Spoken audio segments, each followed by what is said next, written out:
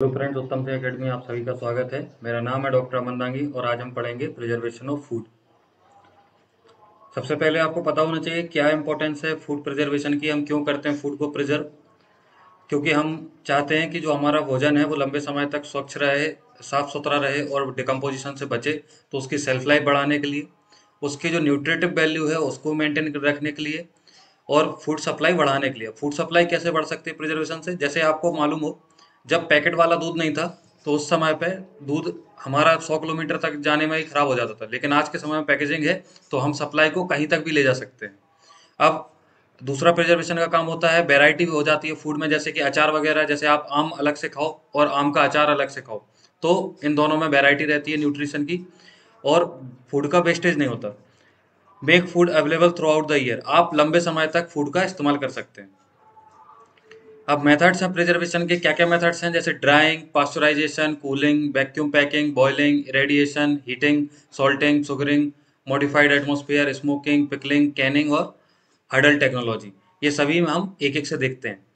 Drawing सबसे पहले ये मोस्ट कॉमन और सबसे पुराना मेथड है प्रिजर्वेशन का। जैसे आपने देखा होगा, आप कोई भी फल अगर अपने पास रखते हैं तो वो चार छः दिन में खराब हो जाता है। लेकिन जो आप ग्रेन्स इस्तेमाल करते हैं, जो गेहूँ का ग्रेन इस्तेमाल करते हैं या चावल इस्तेमाल करते हैं तो वो हमारा सालों तक रखा रहता है। दोनों में अंतर क्या है? फल में पानी की मात्रा अधिक है और चावल और गेहूँ के अनाज में पानी की मात्रा कम है, जिस वजह से उसका डिकम्पोजिशन नहीं होता, इसलिए वो प्रिजर्व रहता है। एडवांटेजेस क्या क्या हैं इसके? क्या क्या फ़ायदे हैं ड्राइंग के? सबसे पहले तो ये, इसमें इलेक्ट्रिसिटी की आवश्यकता नहीं होती, आप धूप में सुखा सकते हैं। टाइम कंज्यूमिंग नहीं होता दो दिन में पूरा सूख जाता है। Make winter meals easier winter में आपको ऐसा भोजन करना चाहिए जिसमें पानी की थोड़ी कम मात्रा हो। तो आप उस समय इसको कंज्यूम कर सकते हैं यूज़ कर सकते हैं। रिक्वायर लेस स्टोरेज स्पेस अगर कोई भी प्रोडक्ट है फ़ूड प्रोडक्ट जो सूख जाएगा तो उसको कम जगह की आवश्यकता पड़ेगी। और ये चाइल्ड फ्रेंडली है मतलब कोई भी ऐसा हम्म, खतरनाक इसमें टर्म यूज़ नहीं होता जिससे किसी को कोई नुकसान हो। सिंपल मेथड होता है।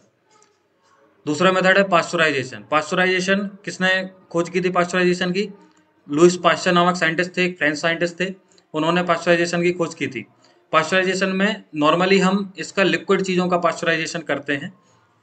पास्चराइजेशन के कुछ मेथड्स होते हैं। एक होता है वेट पास्चुराइजेशन इसमें ये मोस्ट कॉमन है। इसमें 63 डिग्री सेंटीग्रेड पर या 145 डिग्री फ़ारेनहाइट एक ही बात होती है। 30 मिनट तक किसी भी चीज़ को गर्म करते हैं। उसके बाद इसको ठंडा करते हैं तो वो पास्चराइज हो जाता है। दूसरे मेथड भी है एस टी एस टी का मतलब क्या है? इसका मतलब होता है हाई टेम्परेचर शॉर्ट टाइम जैसे बहत्तर डिग्री तक हम किसी चीज़ को हीट करें पंद्रह सेकंड के लिए, तब भी वो पास्चराइज हो जाएगी। ऐसे ही 89 डिग्री सेंटीग्रेड तक हम किसी चीज़ को हीट करें, एक सेकंड के लिए, तब भी वो पास्चराइज हो जाएगी। इसी तरह से ये पूरा टेबल है, इसमें आप देख सकते हैं अलग अलग मेथड्स हैं अलग अलग टेम्परेचर और अलग अलग टाइम है। Cooling and freezing cooling and freezing ये मोस्ट कॉमन है, हम सभी के घर में इस्तेमाल होता है। कूलिंग फ्रीजिंग से क्या होता है? देखिए, जो फ़ूड है, उसको खराब करने वाले माइक्रो ऑर्गेनिज्म होते हैं। और जितने भी जो बैक्टीरिया और फंगस हैं, वो एंजाइम्स के द्वारा काम करते हैं। और एंजाइम्स के लिए तीन चीज़ें अति आवश्यक होती हैं कार्य करने के लिए। आप अभी से याद रख लीजिए एंजाइम्स के लिए तीन चीज़ें। पानी, तापमान और पीएच पानी, तापमान और पीएच पानी अगर कम होगा, तब भी एंजाइम काम नहीं कर पाएँगे। जो हमने ड्राइंग में देखा तो फ़ूड नहीं सड़ता है। दूसरा तापमान तापमान अगर हम कम कर देंगे तो एंजाइम्स जो हमारे हैं, वो इनएक्टिव हो जाते हैं। ध्यान रखना इनएक्टिव होते हैं, नष्ट नहीं होते। इनएक्टिव होते हैं। तो एंजाइम्स जब इनके इनएक्टिव हो जाते हैं तो उस वजह से हमारा फ़ूड जैसा का तैसा बना रहता है, उसमें कोई भी डिकम्पोजिशन नहीं होता फ़ूड खराब नहीं होता।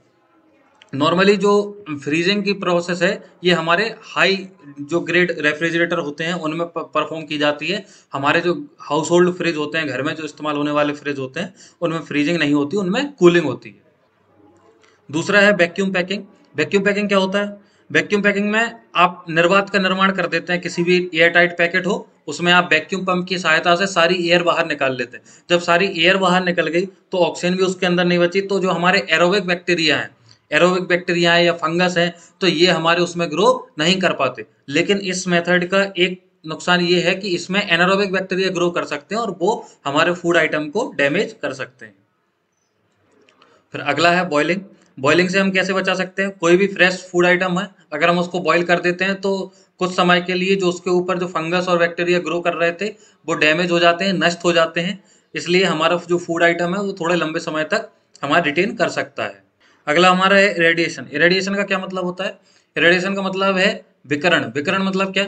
कोई भी जो हमारी अल्फ़ा रेस हैं गामा रेस हैं, जो आयोनाइजिंग रेडिएशन जिनको अपन बोलते हैं, जो खतरनाक होती हैं जीवों के लिए, उनको हम अपने फलों के ऊपर अप्लाई करते हैं जो हमारी सब्ज़ियाँ रहती हैं, उनके ऊपर अप्लाई करते हैं, जिसकी वजह से माइक्रो ऑर्गेनिज्म फंगस या बैक्टीरिया हमारे नष्ट हो जाते हैं पूरी तरह से। अगला है हीटिंग तो मैंने अभी आपको बताया था कि बैक्टीरिया और फंगस के एंजाइम्स को कार्य करने के लिए हमें तापमान, पानी और पीएच की आवश्यकता होती है। तो इसमें तापमान अगर हम कम करेंगे तो वो इनएक्टिव हो जाते हैं और हीटिंग करेंगे मतलब तापमान बढ़ाएँगे तो वो एंजाइम्स नष्ट हो जाते हैं। तो इसलिए हम हीटिंग करके भी बहुत सी चीज़ों को रख सकते हैं। जैसे अनाज या दलिया, इनको हम भून करके रखते हैं तो उसको हीटिंग की अपने और उसके सारे के सारे माइक्रोऑर्गेनिज्म खत्म किए और उसको लंबे समय तक हम उसको यूज़ कर सकते हैं।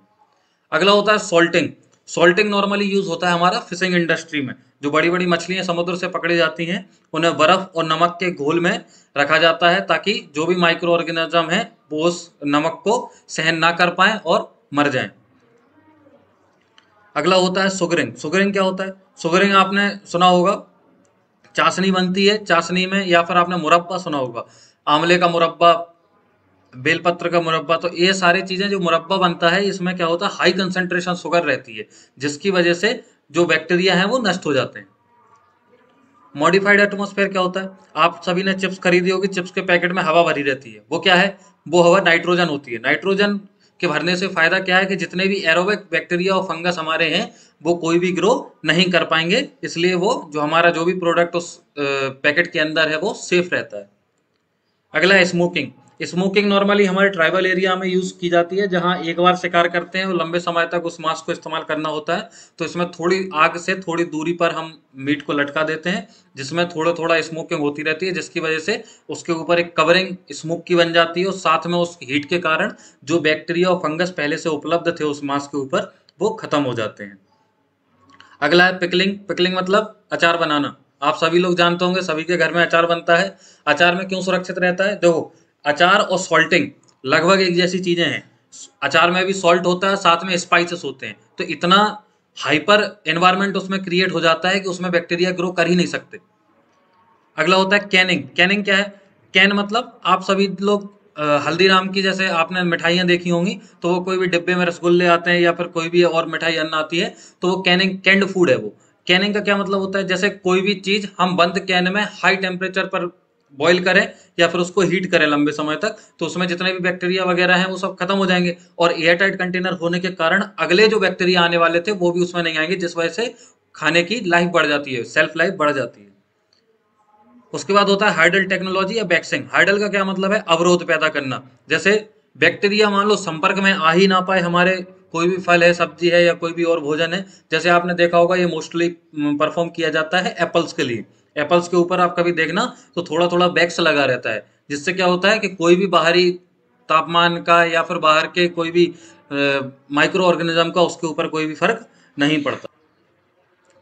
अगला हमारा मेथड है, कुछ केमिकल मेथड्स होते हैं। केमिकल मेथड्स में आपको केवल केमिकल्स के नाम मालूम होने चाहिए, जैसे बेंजोइड्स हैं नाइट्राइड्स हैं सल्फाइड है एल्कोहल है विनेगर है। जैसे आपने ये नॉर्मली देखा होगा, आयुर्वेदिक दवाइयाँ आप कभी लेते हो तो लिक्विड जो दवाइयाँ आती हैं, उनमें हमेशा एल्कोहल की खुशबू आती है। तो उसमें क्या होता है कि एल्कोहल डाला जाता है ताकि उस दवाई की सेल्फ लाइफ अधिक समय तक रहे।